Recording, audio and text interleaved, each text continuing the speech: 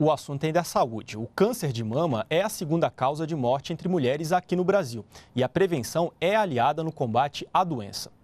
O número de pessoas que fizeram o exame de mamografia, que é o que mais ajuda a identificar esse tipo de câncer, aumentou 37% no Sistema Único de Saúde entre 2010 e 2012.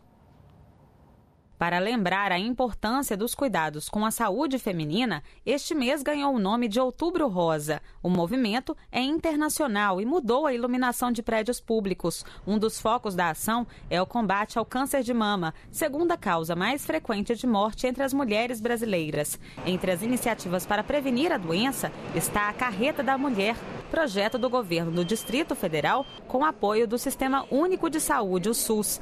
O veículo é equipado com aparelhos para fazer mamografias e ecografias. O exame fica pronto em dois dias. O objetivo da Carreta da Mulher é fazer o caminho inverso. Em vez de esperar que as mulheres procurem os hospitais, a saúde pública vai até os cidadãos.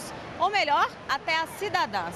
A ideia é que quem passe por locais movimentados como este e veja a carreta, se lembre de fazer os exames periódicos. E a estratégia tem dado certo. Só esta semana, aqui na rodoviária de Brasília, 518 mulheres foram atendidas.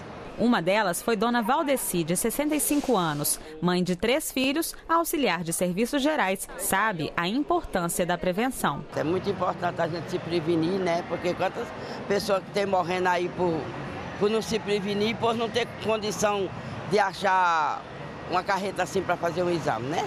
Porque tem pessoas que não podem pagar.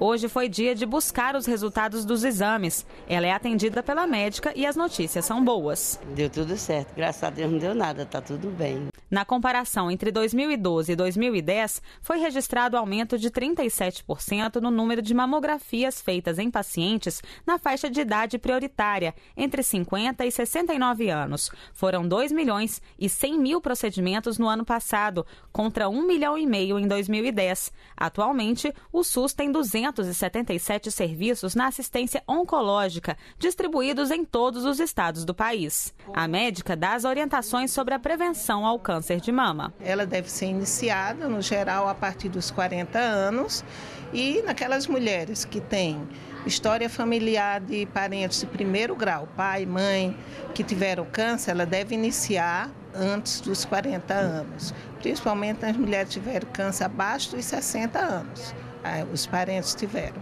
Aí eu falo assim, gente, vamos fazer o exame, aproveitar que a carreta está lá e vamos fazer esse exame para nós se prevenir, que a gente sabe. Depois a gente cai numa doença que nem sabe, aí elas, vamos. Aí todo mundo se anima e vem.